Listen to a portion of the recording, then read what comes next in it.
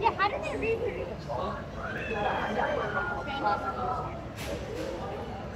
So then here.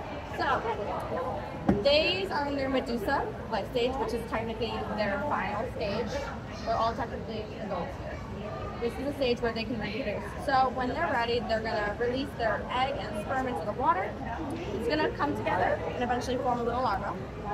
And that larva is gonna eventually settle down into a polyp, which is their first main life stage. They have two main ones, the polyp and the medusa. The rest are kind of part of the metamorphosis they undergo.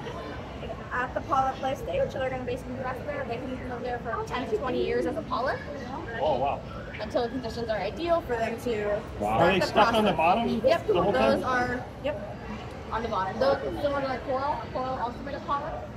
So they rest Oh, on the yeah, bottom. okay. The Medusa is their free swimming stage, so they're swimming around here. But all of these in this stage can reproduce, and they can live like one to two years in this stage. So, but it takes a long Get time to him. get. Get him. Yep. Ah. Come on, you gotta finger the shit out of him. That's really cool. Yeah. Can you slap him around a little bit? A little slap and tickle? I don't know about that. I remember seeing some movies when I was You guys get your fingers in these tanks. I didn't pay for nothing here.